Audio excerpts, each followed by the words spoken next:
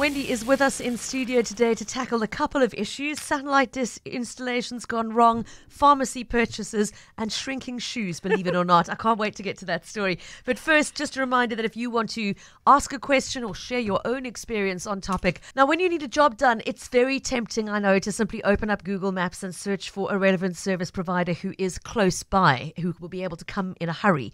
But a number of multi choice customers have learned the hard way that that is a risky strategy, at least when it comes to satellite dish and decoder installations. And you might end up with a very nasty shock at the end of said installation. Uh, not the electric kind of shock, but the budgetary kind. Uh, Wendy, what's the backstory on this one? Okay, so um, for years, MultiChoice has advised its DSTV subscribers to consult its list of accredited installers on its website. That's the um, MultiChoice website. Mm-hmm. And only to use one of those when installing a dish or decoder or needing anything else uh, along those lines done. The advice I've been told by a multi-choice spokesman is printed because I said, okay, that's all very well, but how do you tell people this? Yeah. How do you get that message out? So apparently it's printed on the side of decoder boxes, and she sent me an example. It's written into the salespeople's script, um, and and the salespeople are also supposed to say, you know, um, help them uh, find a suitable installer in their area, right, to make the search a bit easier. But she did concede we have external sales partners and are unable to confirm what they communicate to customers when they make the sales. I think they're far more um, interested in making the sales than in, what happens in the after sales environment. Exactly. Yeah. So yeah. I dare say that a lot of people just aren't aware um, that there is an accredited list that you should work yes, with. And we'll get to all the reasons why that makes a lot of sense. In a, in a little while. But on the line with us is one of the people who didn't get the message to use an accredited supplier, and that was our listener, Brian Davey of Newlands. Wendy, in his case, with very costly results. Before we speak to Brian, won't you just briefly summarize what happened? Sure. So, so Brian uh, and his wife paid close to 17,000 Rand to a satellite installer. They quite understandably had a strong feeling that they'd been been ripped off. And so he wrote to me about their experience. They found Satellite King via a Google search and uh, emailed this request Can I please book a technician to install a new TV, DSTV decoder, soundbar, and Blu ray player and connect to internet? So Satellite King sent installers who went by the name of Sky Digital Sat, and that crowd issued their invoice in the name of simply satellite repairs. So, having read Brian's account, I contacted MultiChoice and asked if they would consider instructing one of their accredited installers, which service the Newlands area, to go to the Davies home and do a professional analysis of that almost 17,000 Rand job. They obliged and very quickly too. I mean, they were there That's within, great. The, within, I think, the next day they were there. And the resultant report, which was submitted to MultiChoice and and then to me by them, was absolutely shocking. Remember, they paid almost 17,000 Rand. That job, according to the accredited installers, should have cost around 950 Oof. Rand. And that was including something that wasn't necessary to replace, they said. Okay, so let's talk about the detail here, Wendy. Where was that 16,000 odd discrepancy? What did the report say? Okay, no equipment was replaced, and that's the most shocking part. The existing fiberglass satellite dish, dish was in good order, good condition, as was the existing smart LNB, which essentially takes multiple cables and feeds them into a single cable distribution. The installer had also insisted on replacing the client's HDMI cable with a so called superior one, but what they put in was nothing more than the standard HDMI cable replacement. Um, the good news is that the quality of the signal is good and all functions are working correctly. So this wasn't a case of shoddy workmanship. It was just a case of a rip-off. And actually, if you charge someone for something that you didn't replace, that is actually fraud. And a over my offense, yeah. years in this game, we've we've um, I, I, collaborated with Carte Blanche once actually of my own washing machine. We, I called these guys and we knew them to be dodgy and marked all my parts and we were charged for replacement parts whereas we could prove through the markings that They're my all very still old. there. Yes, so this is a this is a game that applies to all sorts of um, appliance type. You know, call someone out to your home situations, or even have them take your stuff away to work on. Okay, as we've talked about before, bad idea to have them taken away. But in this case, so the accredited installer came, assessed the job, said, okay, no parts have been replaced here. The so called superior cable is not a superior cable at all, it's a bog standard HDMI one. Um, what would they have charged for the same job, Wendy? Right. So th- they would have charged a call out fee of 475 Rand, which is exactly the amount that the non accredited installer would have charged for the same. So no problem there. Additional labor um, of, of an hour of 350 Rand. So that uh, that's bear that, that um, amount. in mind, yeah. And to supply one HDMI cable, which was actually unnecessary, they would have charged 190 Rand. That that amounts to 945 Rand. So well under a thousand Rand, especially if you subtract that unnecessary cable. So when you then look and ask where does the huge price discrepancy come in? So they would have charged under a thousand rand. Brian paid close to seventeen thousand rand. When Wendy, when you dive into the invoice Brian was given, you see where that sixteen thousand rand in difference sits. Won't you explain? Of course. So uh, close to 10,000 Rand for that new fiberglass dish. Which wasn't new at all. Which wasn't Okay. new, um, which wasn't supplied at all. Close to 3,000 Rand for a UDMI, UDMI receiver. More than 500 Rand for an optical cable. Another 2,500 Rand for labor and installation versus um, 350 350 Rand. from the accredited uh, assessment. Uh, so you can see, I mean, the description, the huge doesn't quite cover Even begin to scratch what the the, surface. discrepancy is. Yes. Right, we've got Brian on the line. And Brian, thank you for being willing to talk about this so that others can learn from this horrible experience that you've had. Welcome to Cape Talk. Oh, thank you, Pippa. So, obviously, this report confirmed your suspicions that you had indeed been ripped off. But wow, I don't think anybody realized just how badly the magnitude of that rip-off uh, would be presented. I mean, how do you feel uh, having be- been presented with the alternative invoice, which would have been under a thousand rand? Well, uh, look, we we mainly we mainly um, um, um, angry with ourselves. Um, Oh, I mean, you have to be. If you, I mean, these are all rookie errors. Um, you, you, I mean, I I wasn't really aware of the concept of an accredited supplier to DSTV. But, but even so, I mean, the, the concept of, of checking out who's going to work in your, in your house um, still applies. And, um, you know, we failed that test. Um, you know, we preoccupied with other aspects of our daily life and we needed a, a new setup and we did a quick Google and the site had some nice pictures and whatever. Yeah. Well- and, and we phoned and we organized it and, you know, a little bit suspicious that the people who came sort of had a different name and the people who invoiced us had another name. And were there any, yeah. Wendy here, Brian, thanks uh, um, for me for agreeing to come on. Um, were there any other red flags apart from those name discrepancies that occurred to you while those um, while those workmen were in your house doing the job? You know, I, I, I wasn't concentrating on the matter probably, but my son came to me and he said, um, he said, Dad, I bought a perfectly good cable that these guys have, have scoffed at and they've put in this other cable. And I don't know the details of it, um, whether my son was right or wrong, but this, this sort of drew my attention to the, the fact that I must maybe have a look. He was So right. I, I got the invoice. I got the invoice out, and the first thing I did was I, I tried the website um, on the invoice, and it doesn't exist. Um, Okay. Oh, dear. satellrepairs.co.za. And, and then, then I found out there were various names, and I did a little um, check on Hello Peter. And uh, not very flattering reviews on Hello Peter. Um, and then I ran the invoice by to two of my work colleagues who, who are a bit more practical than I am. And, you know, they both laughed at me. Oh, Yeah, but "You that- We've got spare satellite dishes in our garage. These things cost a thousand rand or three thousand rand max. And it was- um, so I thought let's Yeah, take it up a bit further. it was actually worse than that. Yours was perfectly fine. Yeah. So you paid, you were was the bonus. overcharged for a new dish that wasn't even installed. I mean, Brian, as Wendy pointed out in her correspondence and in her earlier conversation, it's fraudulent to charge somebody for supplying an item that was not installed. Have you considered taking this further and contemplating uh, laying criminal charges? Well, look, it's still sort of sinking in. You know, I thought I'd been rip, ripped off as, as a as a silly old Newlands pensioner by hundred percent. I didn't realise I'd been ripped off by infinity percent. But uh, I mean, it's a, it's a crime has been committed. Um, I, should, I should, certainly should take further steps. Wendy, did you try engaging with Sky Digital Sat directly on Brian's behalf? I did. I phoned the number that was on that invoice, that Sky High invoice, and I got hold. I had some difficulties engaging, can't hear you, all the rest, phone you back, didn't phone back. But then we did engage. Um, he gave his name as Inez Washington of Sky Digital Sat. He said they were third party uh, um, suppliers to Satellite King.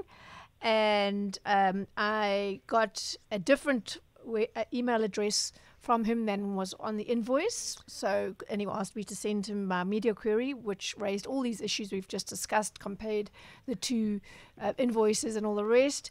And then he phoned me and said that um, he denied that um, the dish and the cable were not replaced. He said, We did replace them. So I said, Well, do you have an invoice for you buying them? And he said, Yes, I'll send it to you. But even if he had, which he hasn't to date, it doesn't prove that those were the ones that Were installed. were installed Yeah. in the Davies house home. So, so that's a bit he- neither here nor there. Um, I did attempt uh, to give them right of reply, and his it can be summarised by not guilty. We didn't do that.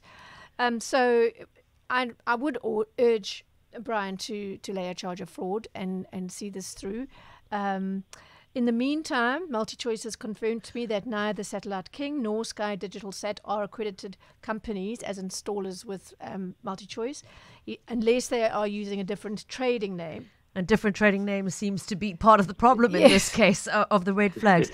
Brian, I'm really sorry that you had this experience, but thank you for being willing to talk about it so that others uh, don't get hoodwinked the same way. And please do do let us know if you have any progress.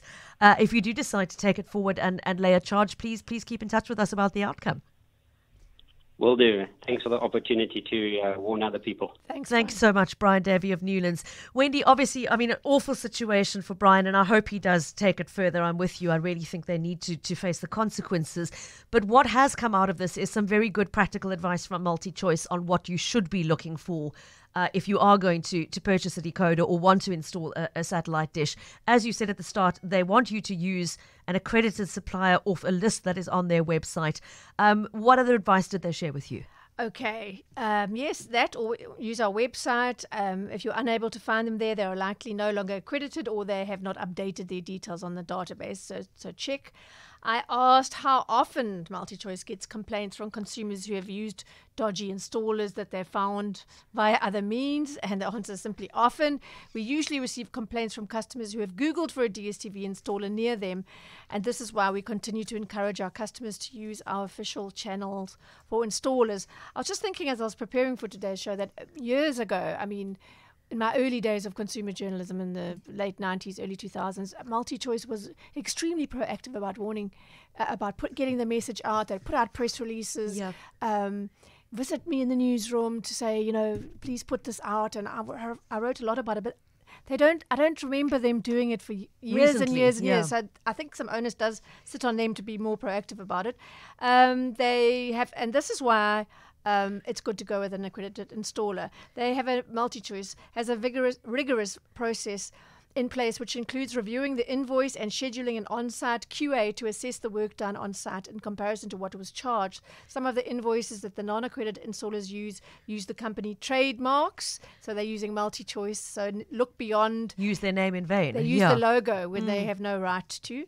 Um, without a signed agreement with an installer, we are unable to implement any consequence management, says MultiChoice. We do advise customers to pursue alternative measures to hold the installer accountable, including going to the police. Okay. Installers are, are also added to the unauthorized list, and this is shared with distributors. So if So you, it's obviously a common problem. it Wendy. is a common Yeah. problem. So the the quick advice is to always do your own checks to verify whether an installer is accredited or not.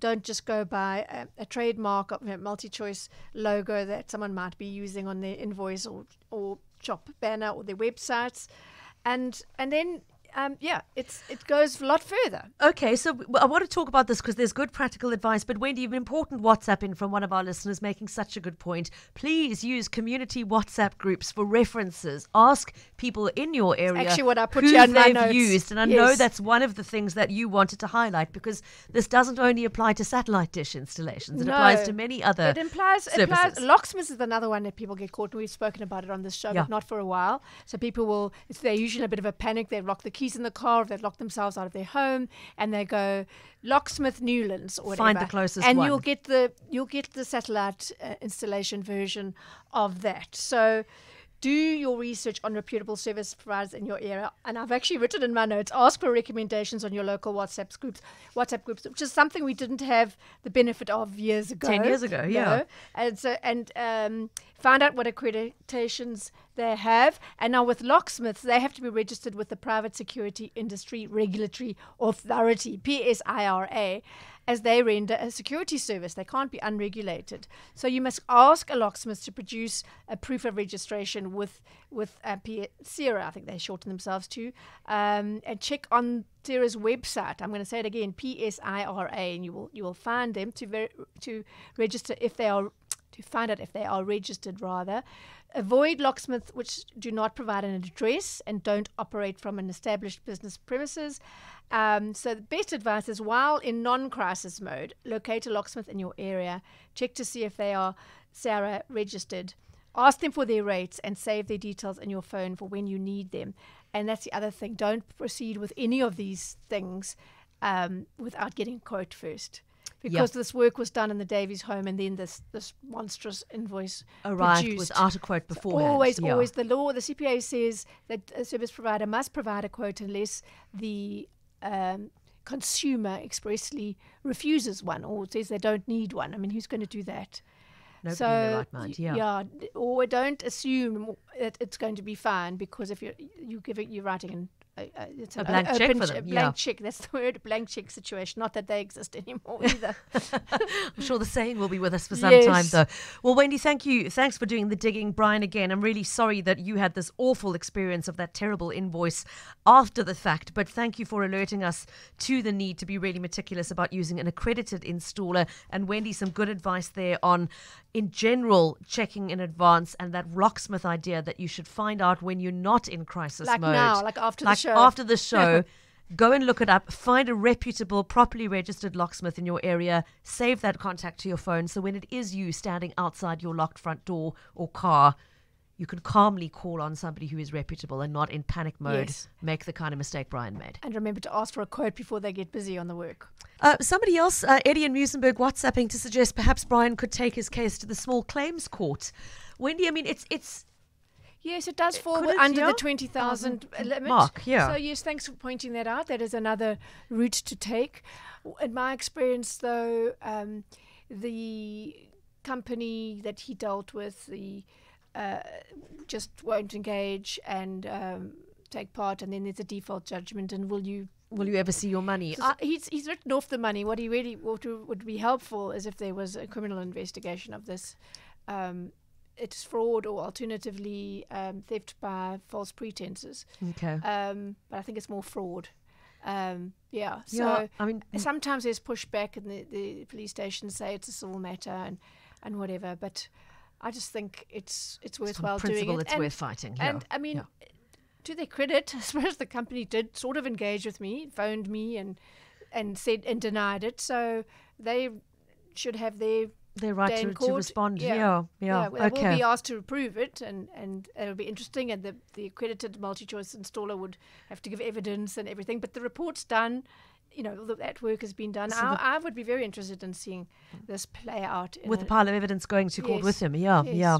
We've got Dylan on the line. Dylan, I believe you've had a similar experience, not with a satellite installation, but the same issue of having Googled to find the closest uh, uh, service provider, and it didn't go well. Good afternoon. Ah, yes, yeah. Good afternoon. Um, yeah, we uh, it was about two weeks ago, and we our, our fridge freezer packed up, and uh, and generally when that when that happens, you kind of uh, you jump on Google, you try and find your your your your, your nearest sort of reputable uh, repair person, and uh, we did just that. You know, the people that we that we got in were running uh, Google ads. Um, we clicked on the the top ad, and I thought, okay, well these guys are investing in their company.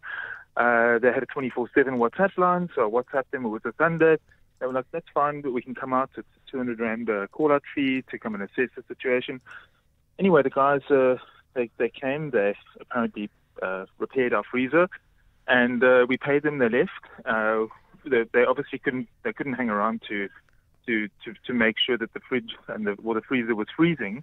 Um, and uh, turns out they, they completely scammed us. They ended up uh, damaging the freezer. Uh, we then went yeah, we went we went to uh, we went to the Facebook groups thereafter, uh, asking for some reputable uh, uh, repair people, and we we we chatted to one or two people, and they said it's a massive uh, uh, issue in the industry. There's there's these fly by night uh, sort of scammers that are that are investing hugely in Google ads to make sure that they're ranking number one, Yes. and uh, and they're just they they're going off with people's money, and uh, uh, I try to. Try to WhatsApp them to get them to, to, to complete the job. Uh, and then it turns out that uh, a lot of the reputable guys don't really want to touch the work that they've done because they've they've actually ended up damaging the the units uh, Yeah. beyond repair. You know, it, it, it, it takes them, it takes they, they kind of got to repair it to a point uh, of where it was first damaged, and then from there they've got to assess the situation. So, so yeah, it was a, a terrible uh, uh, experience, and I think that um, I, I just wanted to warn everyone else out there. You know. Uh, I'm in digital marketing, and and I didn't see all the I, I didn't see all the signs. You know, Yeah. I, I looked at the website; it was reputable. I clicked on Google Ads, uh, but then I did uh, I, I did leave a Hello Peter, and then I did go to the Google reviews, and mostly bad reviews. Uh, Ah. so so yeah, it's just be be careful out there, huh? Dylan, thanks. Uh, uh, again, appreciate your taking the time to call in and share that story. And Thank very good much. point about checking the reviews beforehand, and Wendy. always look for addresses on the website and then check them out. Google Maps. Are they where they say they are? doesn't take All that, long. yeah. Um, so I've been warning about this Google search. It is a natural thing to do. Uh, and what we heard there is the modern version of what used to happen when I first got into this game, which was people would, these companies would invest in really, really big, professional looking adverts in the yellow pages. Yes. And the assumption on the consumer's part would be, well, this must be a, a, A great, reputable business. Yes, because they've got this lovely advert. And then now the version is, um, well, they're investing in their advertising. On They're coming up on yeah. the first. And and it's the same. They're playing on the same consumer psychology. Yeah, because they've op- they've paid for search Yes. optimization. They Must must, be be, reputable. Yeah. Yeah. Okay. Dylan, sorry for that experience, but thank you for sharing it with us. Wendy, uh, if we change tack for a moment, we want to just give listeners an update on a story we mentioned last week in passing. You told us a listener had been inquiring about pharmacy purchases paid off their medical aid savings, and I believe you had some additional feedback in in the, the past week since that show. Yes, it took it took the Council for Medical Schemes, which uh, regulate uh, medical schemes, um, some time to come back to me. Um, the question was, if I'm using my medical scheme savings, uh, in other words, my money, to buy something from a pharmacy, why are they allowed to charge the medical aid rate, which is higher than what is advertised as the on-shelf price? She says, I generally pay 50 to 100 Rand more when they apply the medical aid rate. Um, is this not enrichment and beneficial to the pharmacy doing this, taking from my medical aid savings as opposed to in store cash? What wasn't clear there, and I should have asked at the time, is was they automatically doing that or whether They're offering had- you a choice. Yes. So the answer from the medical, the Council for Medical Schemes is this: there are three issues at play here: the medical scheme rates, the single exit price, and dispensing fees, and the designated service provider. The medical scheme rate is an amount which a medical aid scheme is prepared to pay for specific treatments and procedures. They are usually slightly higher than the guideline prices published in the reference price list, but differ from from scheme to scheme. In the case of medicine, single exit price and dispensing fees must be taken into account. The exit price can be thought of as the price at which a pharmacy buys medicine from a, ho- a wholesaler, and it's regulated by the National Department of Health. And a medicine may not be sold by a wholesaler at less than the published single exit price. And then there's a dispensing fee, and that's also regulated. And here it comes to the crux.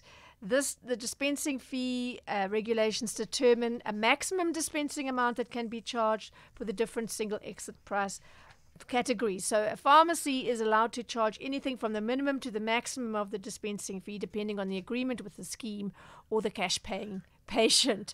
Ordinarily, medical schemes will typically negotiate medicine dispensing fees that are substantially below the maximum fee that a pharmacist is allowed to charge. But so the bottom line for me, and that was quite technically stated, is that if you want to use your medical savings to buy over the uh, counter products in a pharmacy because you've accumulated a lot and why not? It's your money. Yeah. Um, then um, find one that charges on the that charges minimum dispensing fees, and don't be afraid to ask these questions because Mm. it affects us and our money. And or- or else just pay cash. Well, Sue's just written in with advice on how she navigates this Okay, issue. thank um, you, Sue. This is quite a lengthy message, but I think it's worth sharing. Sue, thank you for this. She says what we do is ask, see which price is the least expensive. Ask the pharmacy rate versus the medical aid right, Rather rate. than just letting them do That it just, for you. just putting it through. Ask them what is the medical aid price. Compare that to the the price off the shelf. Almost always, she says, the shop price at Dischem is the least expensive by a significant amount in her experience. Okay. And then she says we don't try and get it off medical aid. We do do get it on a doctor's script, even if a script is not needed. Pay for it at the till, and then you can claim it from SARS as out of pocket medical Oh. expenses and get a refund for part of it. So if your doctor is issuing um, a script for antibiotics and telling you to get throat lozenges, ask them to put the throat lozenges on the script, is what I'm hearing there. Yes. So that it can be reclaimed from the med- SARS. medical scheme won't pay it. You'll pay it, but you've got You've you got something to submit to Yes. SARS. She says the difference is if the difference is small, we rather put it through medical aid and get it put on the tax certificate. It is extra admin to purchase as out of pocket expenses, but we do get a decent medical refund, which, for example, helped during the income reduction in the COVID years. So Yes. Sue's clearly worked the system. And Sue, thank you very much for sharing that advice with us. Please forward that to me. Uh, okay, I will do so. It's very good advice Yeah. and, re- and greatly appreciated. So ask the question, ask the price difference. Don't be embarrassed to ask, is it going to be more expensive if, if I put it through? It, it actually tells them that you're a very savvy consumer. Absolutely. Okay. And then thank you too to John in Blouberg who says, I help businesses get reviews on Google. Only you should look out for a business with more than 40 reviews with an average of four or more out of five. That is a sign of a good business or service. It's the only way to ensure that you get good referrals. A small tip for everyone from John. Good. Okay. Thank you, John. More than 400 reviews. Is that what you said? More than 40. 40. 40 okay. with an That was a average of four or more. Okay. Okay, got it. So yeah, I, I guess that makes sense because it, it, it avoids you know they it, they would have to invest significant effort in, in posting a huge number of fake reviews to drive that that that star up. Wendy, we have in recent months tackled poor quality shoes and large sized shoes and shoes having to be returned to China. I confess I didn't see the shrinking shoes coming though. You wouldn't think, right? I have covered this issue before with several cases. I'm not sure if it was on this show, but several cases of Crocs. Maybe not if you can't remember. Mm-hmm. But these are shoes that are um, good brands. Well, mainly Crocs, but now the latest case uh, related to a pair of Versace slides, if you don't Ooh, mind. Shocking us, pink. okay. Someone bought them from the store in Mall of Africa. Um, and uh, she paid 1,850 Rand for them.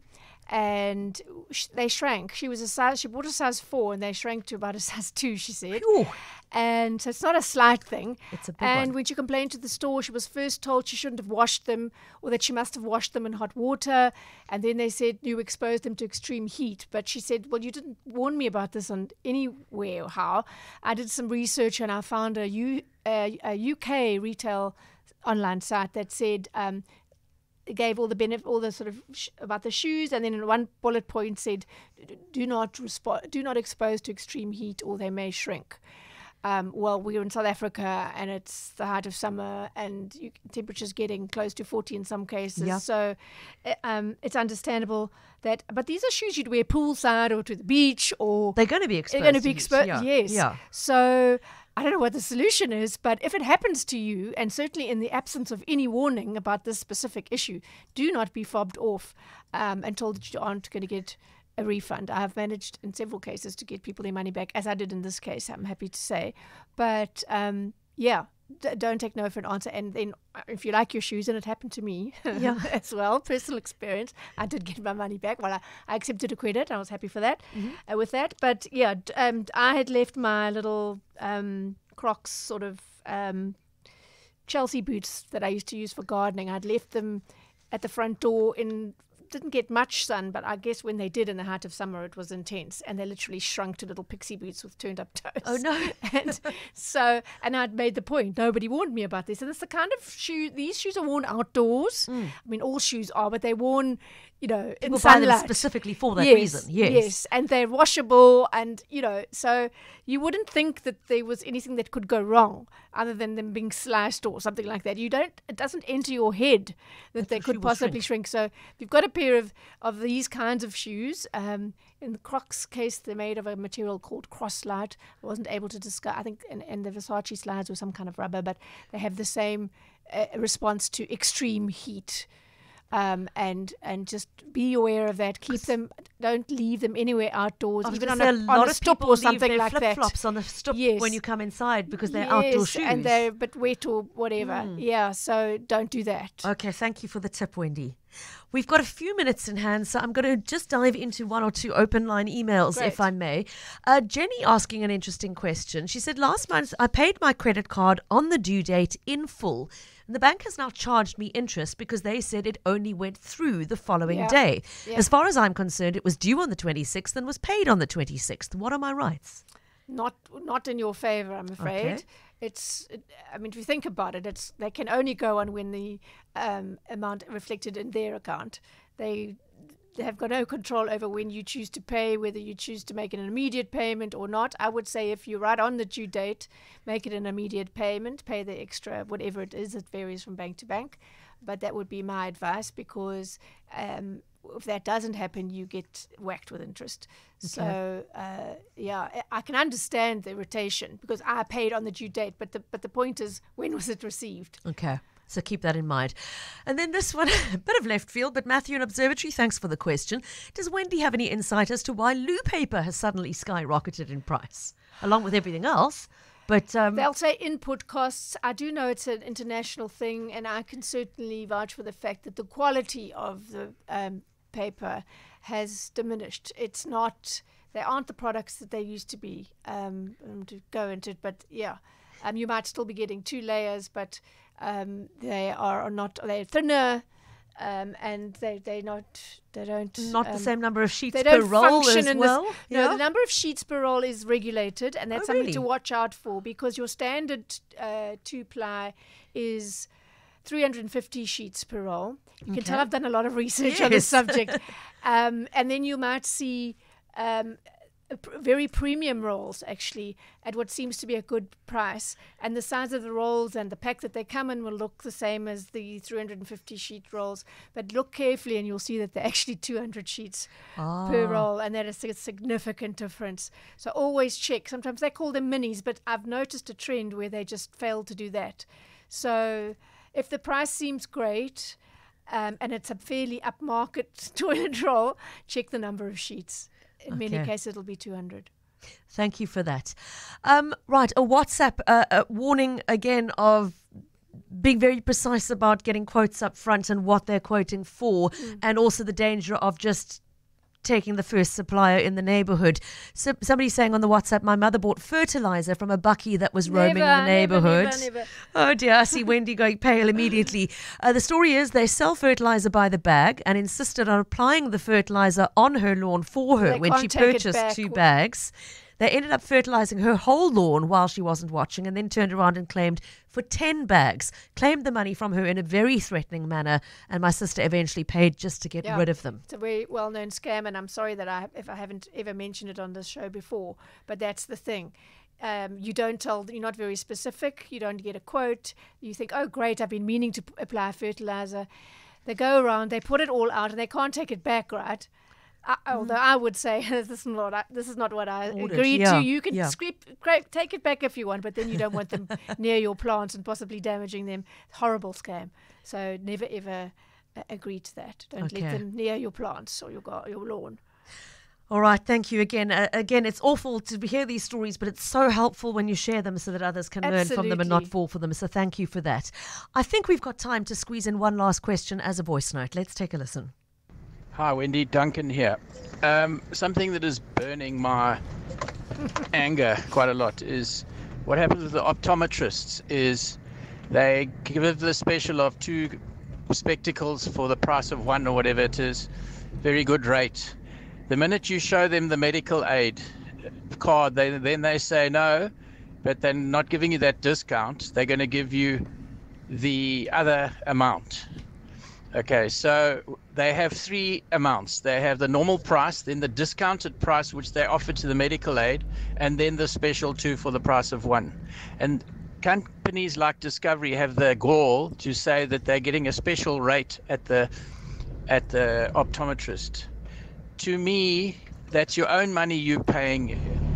You should be entitled to that discount. Um, it really angers me that. Do you know much about that situation? Uh, I don't know if you understand. Because what they're doing is they're saying they're charging a discounted rate, which is 20% less than the normal rate, but no one ever gets charged the normal rate. So it is a fictitious normal rate that's just designed to basically crook us. What do you think? I think that definitely sounds like something I need to investigate. And funnily enough, I was too busy with prep for, for this feature to get into it, but I skim I read the, the, the opening lines and someone was I don't know if, if, if that was Duncan but uh, I got an email about exactly the same thing this morning, so I'm going to go back and have a look. And if you could share Duncan's details with me, maybe that's not maybe that's definitely something I need to pull together for another show. Okay, so Duncan, we've got your WhatsApp number, but if you'd like to send us a, um, a an email with the concrete pricing that you're talking Please. about and the branch you were at where this happened and the brand involved, we'd, we'd be very interested to have that as a case study to follow up. Um, let's finish there because I can neatly remind everybody how to contact Wendy. So, Duncan, you want to send an email to consumer at knowler.co.za, spelled K N O W L E R. Uh, she knows a lot about consumer affairs. Consumer at knowler.co.za. You're welcome to CC me, and if you like, on Pippa H at capetalk.co.za.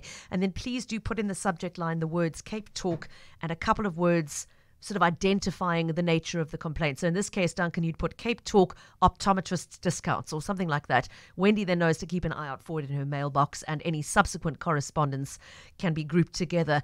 On the note of subsequent correspondence, though, please try and put everything always in a single email. Um, very, very difficult with an inbox as busy as Wendy's is to keep track of multiple emails on the same subject. So I know Wendy says it till she's blue in the face, but let me reiterate please put the full story with all relevant reference numbers and account numbers and dates and names of suppliers into that first approach to Wendy. Don't send an email saying, Will you take my case? And please write back if you will. Just send it through with all the info in that first mail.